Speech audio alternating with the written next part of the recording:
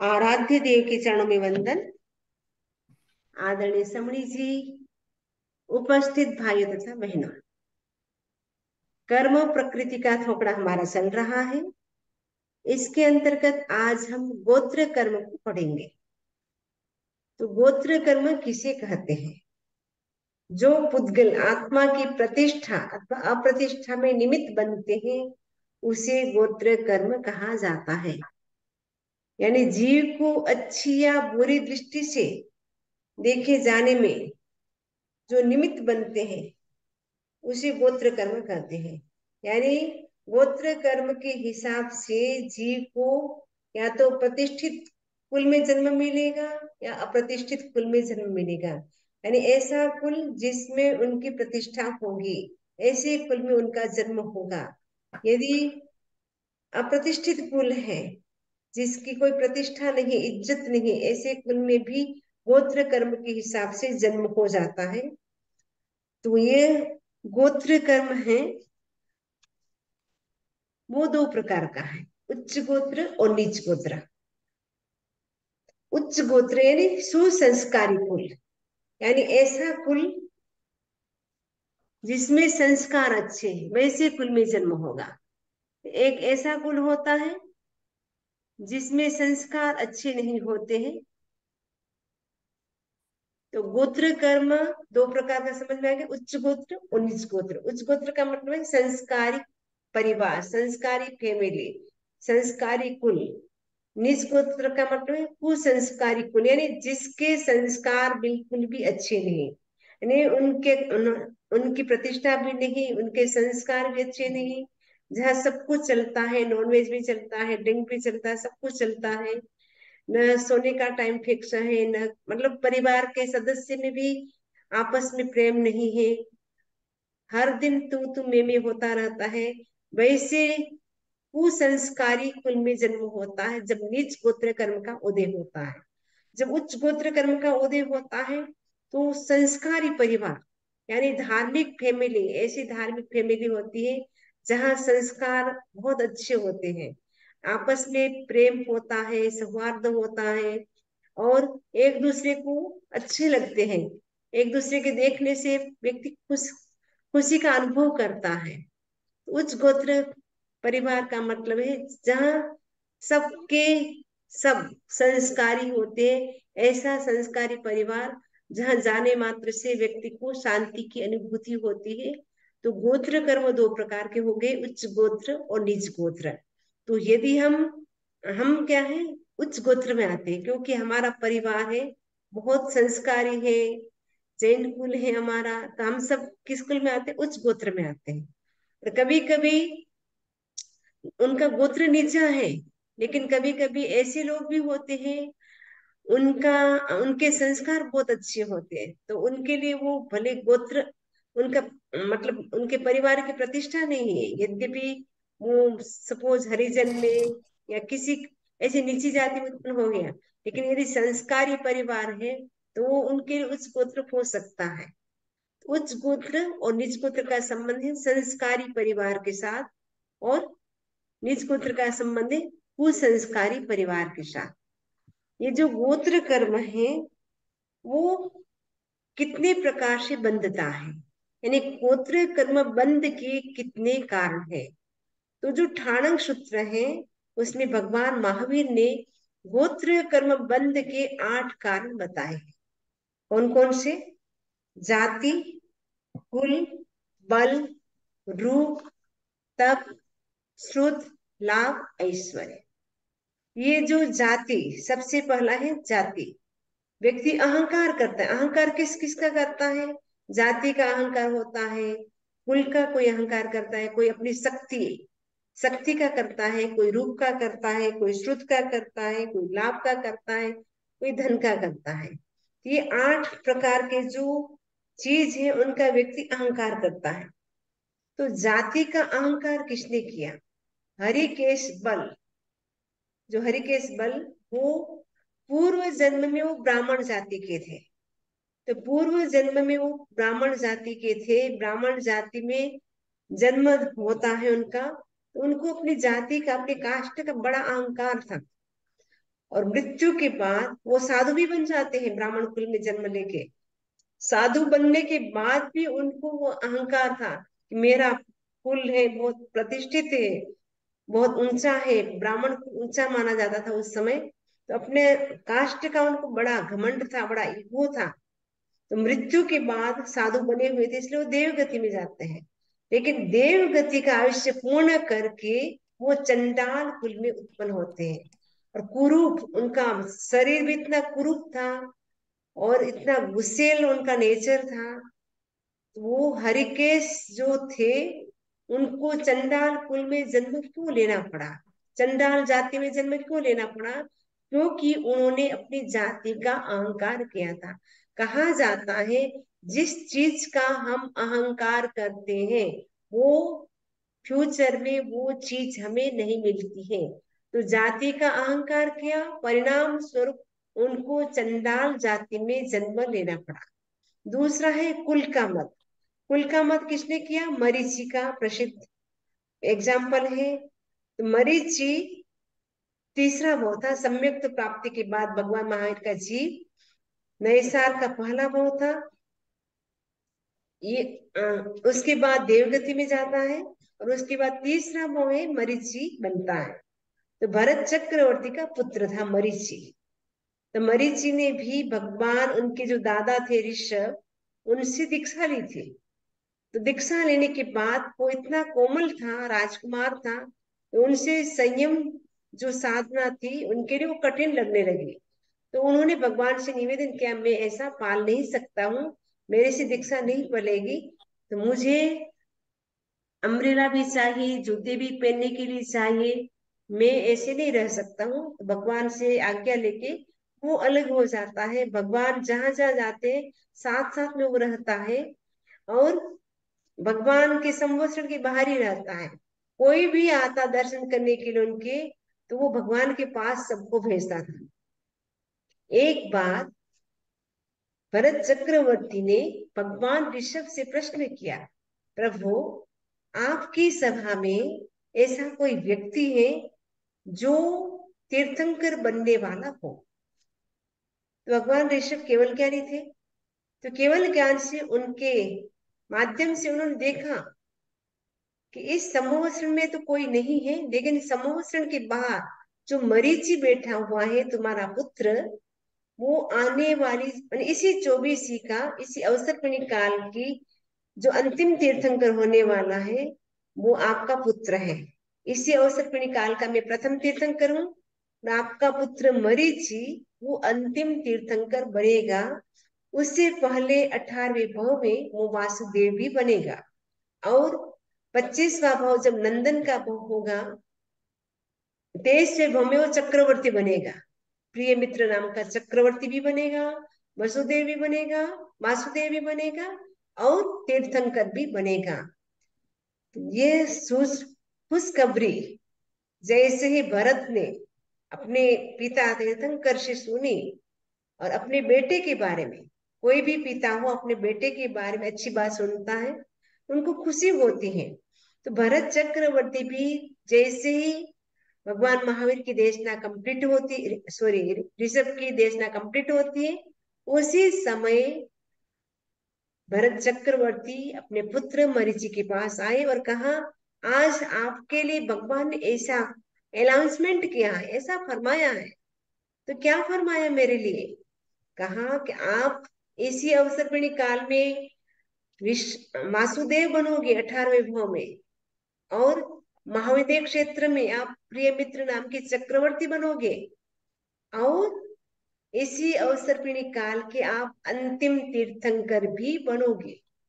जैसे ही ये बात सुनी, उसी समय वो मरीची नाचने लगा, डांस करने लगा। वाह, मैं कितना भाग्यशाली हूँ, मेरा कुल कितना भाग्यशाली है।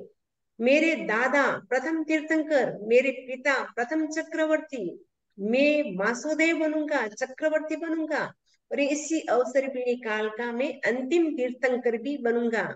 इतना अहंकार किया कुल का परिणाम स्वरूप उन्होंने नीच गोत्र कर्म का बंद कर लिया और जो तीर्थंकर की आत्मा हमेशा क्षत्रिय कुल में ही उत्पन्न होती है, लेकिन मरीची ब्राह्मण कुल में उत्पन्न हुआ। भगवान महावीर का जीव और तो गमेशी देव ने उनको साढ़े बयासी रात्रि के बाद त्रिशला कुक्षी में त्रिशला माता थी, उनकी कुक्षी में स्थापित किया अदरवाइज़ वो ब्राह्मण कुल में ही उत्पन्न हुए। तो उनका कारण क्या बना?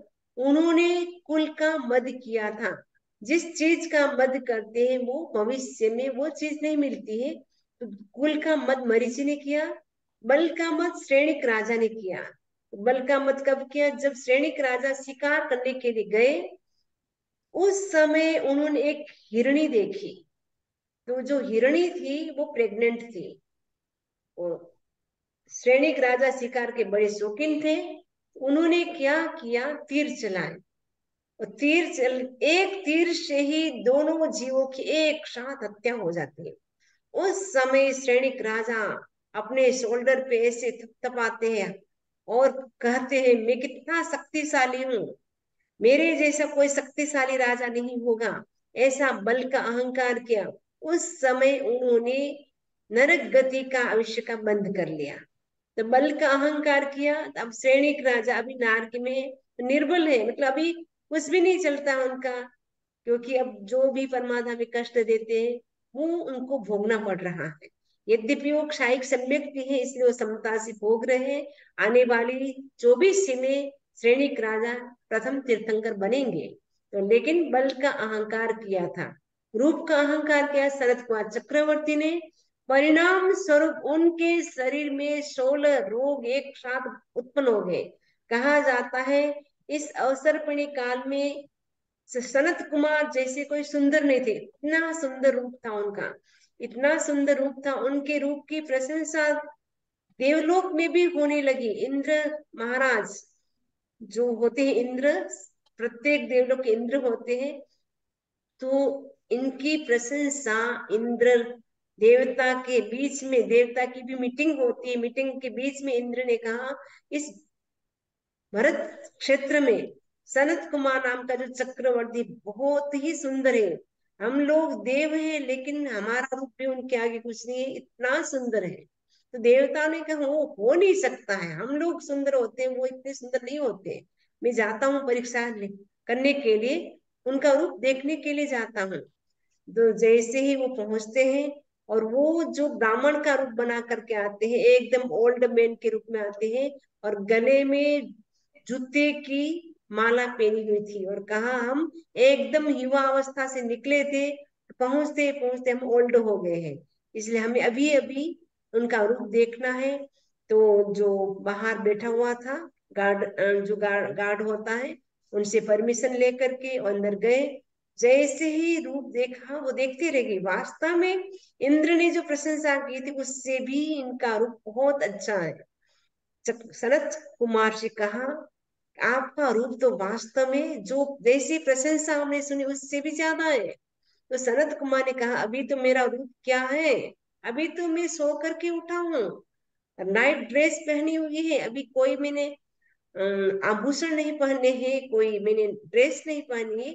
मेरा रूप देखना हो तो सभा में देखना। जब मैं राजा की, जो राजा का सिंहासन होता है सज धज करके मैं तैयार होकर के जाऊँगा, उस समय देखना। उस समय बुलाया गया। ब्राह्मणों को जो दो ब्राह्मण आए थे देव, जो दो देव थे, वो ब्राह्मण के रूप में आए थे, उनको बुलाया। अब देखो मेरा रूप। तब ब्राह्मण ने सिर हिला दिया कि अब आपका वो रूप नहीं रहा। क्यों? अभी तो मेरा इतने आभूषण पहने हुए, इतनी सुंदर सुंदर पोशाक है। कहा कि अब देखो, सोने का थाल मंगाया और कहा थूको आप। जैसी थूका, उसमें कीड़े कलबलते ऐसे निकले। तो कहा, अब आपके शरीर में एक साथ सोलह रोग उत्पन्न हो गए, महारोग। उसी समय सनत कुमार चक्रवर्ती को वैराग्य हो जाता है। दीक्षा ग्रहण कर ली और 700 वर्षों तक संयम पाला और उनका, उनके शरीर में 700 वर्षों तक वो रोग रहा। उन्होंने समता से सहन किया। कहने का मतलब रूप का अहंकार किया। परिणाम स्वरूप शरीर में रोग उत्पन्न हो गए। तप का अहंकार गड़ुक ने किया था। पूर्व जन्म में तपस्या बहुत करता था और अहंकार करता था। मैं कितना तपस्या में कितना तप करता हूँ। परिणाम स्वरूप जब गड़ुक बनता है, साधु भी बन गया, लेकिन एक उपवास भी वो नहीं कर पाता था। इवन वो संवत्सरी के दिन भी उपवास नहीं कर पाता था। उनकी स्थिति ऐसी थी। तो तपस्या का अहंकार किया तो वो तप नहीं कर पाता था। श्रुत का अहंकार किसने किया? स्थूली भद्र ने किया। तो उन्होंने क्या किया? सिंह का रूप बनाया। परिणाम स्वरूप उन्होंने अहंकार किया ज्ञान का, उनको चौदह पुरों का ज्ञान अर्थ के रूप में नहीं मिला। सूत्र के रूप में ज़रूर दिया रिक्वेस्ट करने पर, लेकिन अर्थ नहीं समझाया, क्योंकि उनको लगा भद्रभाव स्वामी को, उनको मैंने मीनिंग समझा दिया तो अपना अहंकार दिखाने लगे। यदि मैं सब बातों का मीनिंग बता दूँगा तो ये दुरुपयोग करेंगे। इसीलिए उन्होंने बहुत निवेदन किया मुझे मीनिंग के साथ बताइए, लेकिन भद्र महास्वामी नहीं बताया। अंतिम जो चतुर्दश पूर्वी बोले तो ये स्थूली भद्र हुए।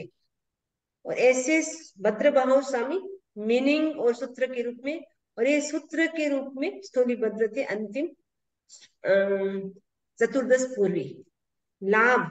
लाभ का अहंकार किसने किया? शुभम चक्रवर्ती। शुभम चक्रवर्ती थे वो वो चक्रवर्ती थे इस अवसर पीढ़ी काल के। आठवें चक्रवर्ती थे। तो इनको जैसे जैसे लाभ होता था, वैसे वैसे लोभ भी बढ़ता जाता था। तो ज़्यादा लोभ के कारण क्या है? ज़्यादा लाभ होता था, लोभ होने के कारण इतना आसक्त इतना आसक्त राज्य में रहा, रिद्धि सिद्धि में। परिणाम स्वरूप उनको सातवीं नारक में जाना पड़ा। ऐश्वर्य, दशाण भद्र राजा, उनके पास बहुत धन वैभव था, उनको बड़ा अहंकार था। इस दुनिया में मेरे जैसा कोई धनवान नहीं है। भगवान महावीर स्वामी पता चला राजागिरी नगर में पधारे। तो उन्होंने सोचा, आज तक कोई दर्शन करने के लिए नहीं गया है, वैसे मुझे जाना है। तो सारा राज ठाट बाट के साथ कैसे पता चलेगा मेरे पास इतना धन है, वैभव है? तो दिखाने के लिए वो पूरा ठाट बाट के साथ जाता। इधर इंद्र को पता चलता है अधिक ज्ञान से देखा दशाण भद्र राजा एक तरफ़ तो महावीर के दर्शन करने के लिए जा रहे एक तरफ़ उनके भीतर इतना अहंकार है। वैभव दिखाने का मुझे उनके अहंकार को चूर चूर करना चाहिए। ऐसा सोच करके इंद्र भी उनसे हज़ार गुना ज़्यादा वैभव लेकर के जाता है। और जैसे ही दशाण भद्र ने देखा जैसे भगवान महावीर के दर्शन करने के लिए ये भी उतरे और इधर इंद्र भी विमान से नीचे उतरे, दोनों एक साथ। देखा, अरे मेरा वैभव तो इनके आगे कुछ भी नहीं है। मैं तो झूठा अहंकार कर रहा था, लेकिन अब मैं अपने स्वाभिमान को कैसे बचाऊं? भगवान महावीर स्वामी के पास गए दशाण भद्र निवेदन किया, बनते, मुझे दीक्षा बचका दो। क्योंकि दशाण भद्र राजा जानते थे, मनुष्य में ताकत है, वो साधु बन सकता है देवता रिद्धि सिद्धि में आगे लेकिन वो साधु तो क्या श्रावक भी नहीं बन सकता है? भगवान तो कहते हैं, जहाँ सुगंध देवानु प्रिय, जैसे आपको सुख हो वैसा करो, लेकिन अच्छे काम में विलंब मत करो, डोंट डिले डिले मत करो। उसी समय दीक्षा ग्रहण कर ली। इंद्र उनके चरणों में झुकता है, कहा, रिद्धि सिद्धि के रिद्धि सिद्धि के मामले में तो मैं तुम्हारे से आगे था। लेकिन त्याग के आगे मैं भी आपके चरणों में बंधन करता हूँ। तो ऐश्वर्य का अहंकार किसने किया? दशाण भद्र राजा ने। ये गोत्र कर्म बंद, ये अहंकार करते हैं तो गोत्र कर्म का बंद होता है। यदि हम अहंकार नहीं करते हैं तो नीच गोत्र कर्म का बंद नहीं होता है। अगर अहंकार करते हैं तो नीच गोत्र कर्म का बंद होता है। यदि अहंकार नहीं करते हैं तो उच्च गोत्र कर्म का बंद होता है। ऐसे भी भगवान महावीर स्वामी से उत्तराधारण क्षेत्र का जो उन्तीसवा अध्ययन है, उसमें गौतम स्वामी पूछते हैं बनते मंद एणम बनते जीवे किम जन गई वंदना करने से जीव को क्या लाभ होता है? भगवान कहते हैं, गौतम, वंदना करने से नीच गोत्र कर्म का क्षय होता है और उच्च गोत्र कर्म का बंध होता है।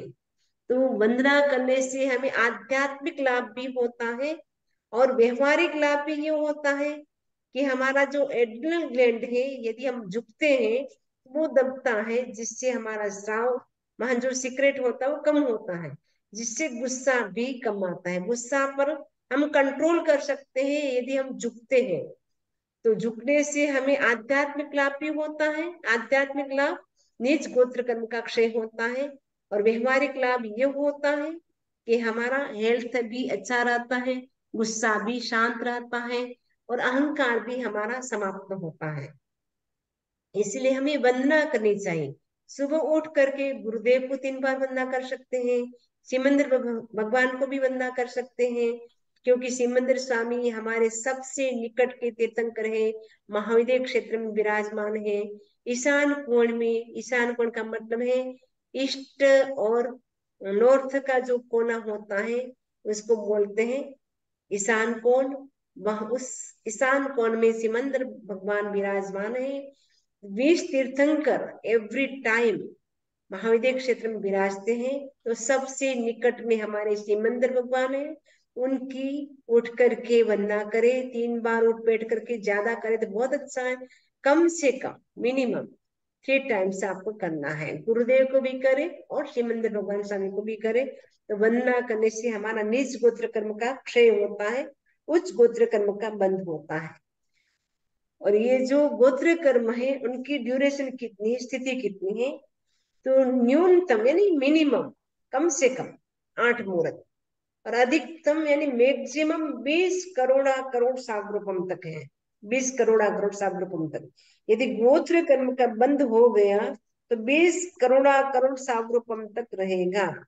इसका अमादा काल कितना है? जगन्य अंतर मुहूर्त और उत्कृष्ट दो हज़ार वर्ष क्योंकि एक करोड़ा करोड़ सागरूपम के पीछे सौ वर्ष का अबाधा काल होता है। तो बीस करोड़ा कर, करोड़ सागरूपम है तो दो हज़ार वर्ष का बाधा काल यानी दो हज़ार वर्ष तक आपको कोई भी परेशानी नहीं होगी लेकिन जैसे ही दो हज़ार वर्ष कंप्लीट होंगे वो प्रभाव डालना शुरू करेगा। और गोत्र कर्म कैसा है? पोटर के समान है। जिसे पोटर होता है कुमकार होता है, वो क्या करता है? छोटे, बड़े, जैसे चाहे, वैसे घड़ों को बनाता है। वैसे ही गोत्र कर्म के उद्देश्य जीव को क्या मिलता है? कभी अच्छे कुल में जन्म मिल जाता है, कभी बुरे कुल में जन्म मिल जाता है। जैसे घड़ा होता है, किसी घड़े किसी घड़े में हम घी भरते हैं, किसी घड़े में हम पानी भरते हैं, किसी घड़े में कोई व्यक्ति शराब भी भरता है, किसी में जूस भी भरता है तो अलग अलग चीज़ हम डालते घड़े में वैसे ही कोई जीव अच्छे कुल में उत्पन्न हो जाता है, कोई अच्छे कुल में उत्पन्न नहीं होता है वह सब गोत्र कर्म का खेल है। तो जैसे पोटरमैन होता है वो छोटे बड़े घड़ों को बनाता है वैसे ही गोत्र कर्म के उद्देश्य भी जीव को छोटा बड़ा कुल मिलता है। तो गोत्र कर्म भोगने के भी आठ कारण हैं। तो ये जाति विशिष्टता, तप विशिष्टता, कुल विशिष्टता, बल, रूप, श्रुत, लाभ, ऐश्वर्य। निज गोत्र कर्म बंध के, जो निज गोत्र कर्म के उद्देश्य जीव, इन आठ बातों में हीनता को प्राप्त होता है। और जब उच्च गोत्र कर्म का बंध होता है, तब सब कुछ अच्छा मिलता है। ज्ञान भी अच्छा होता है धन वैभव यानी फैसिलिटी भी अच्छी होती है, रूप भी अच्छा होता है एनर्जी भी अच्छी होती है, कुल भी अच्छा होता है, जाति भी अच्छी अच्छी होती है, तपस्या भी वो कर सकता है। और गोत्र कर्म का बंध है, पहले से चौदह गुण स्थान तक होता है। इसका बंध पहले से दसवें गुण स्थान तक होता है। गोत्र कर्म का उदय है, वो पहले से चौदह गुण स्थान तक होता है। और इसका बंध है, दसवें गुण स्थान तक होता है, उसके आगे नहीं होता है। इस कर्म का उपसम एवं क्षोपसम नहीं होता। यानी गोत्र कर्म का उपसम भी नहीं होता है, क्षोपसम भी नहीं होता है। गोत्र कर्म का क्षय ही होता है, क्योंकि चौदह गुण स्थान में जब जीव सिद्ध होता है, उस समय क्या होता है, जो अघाती कर्म होते हैं, या गोत्र कर्म भी अघाती कर्म है, उस समय वेदनीय नाम गोत्र और आयुष्य चार कर्म का एक साथ ही क्षय हो जाता है। ये जो क्षय होता है वो सिद्धों में पाया जाता है, क्षायिक भाव होता है, वो सिद्धों में पाया जाता है। ये गोत्र कर्म का क्षय होता है, उसका उपसम भी नहीं होता है क्षोपसम भी नहीं होता है। इस प्रकार गोत्र कर्म की हमने संक्षेप में चर्चा की। इससे संबंधित कोई प्रश्न तो पूछ सकते हैं? इसी आशा के साथ, ओम अरहम ओम अरहम वंदा में मेरा एक प्रश्न है, आप बोले ना, उत्कृष्ट दो हज़ार वर्ष तक रहेगा नहीं नहीं आई मीन उत्कृष्ट बीस करोड़ा करोड़ सागर। हम्म। तो मतलब वो कैसे बाँध सकते वंदा? में इतना उत्कृष्ट भाव रहना चाहिए हाँ बीस करोड़ करोड़ जैसे मोहनीय कर्म है वो सितर करोड़ा करोड़ सागर पर। हम्म। ज्ञानावरणी दर्शनावरणी वो तीस करोड़ा करोड़ सागरूपम तो ये तो बेसी है अब सित्तेर भी बाँध सकता है जीव मतलब ऐसे तीव्र परिणाम होते हैं जैसे अपने भाव होते हैं ना इंटेंसिटी जितनी हम्म। अपनी अधिक होती है उसके हिसाब से कर्म का बंध होता है। जो भी कर्म बनता है वो सागरूपम पल्लपम में बनता है ऐसा तो सुनीता भगवान महावीर स्वामी मरीचिर टाइम आता है कर्म बाँध दिया गोत्र कर्म।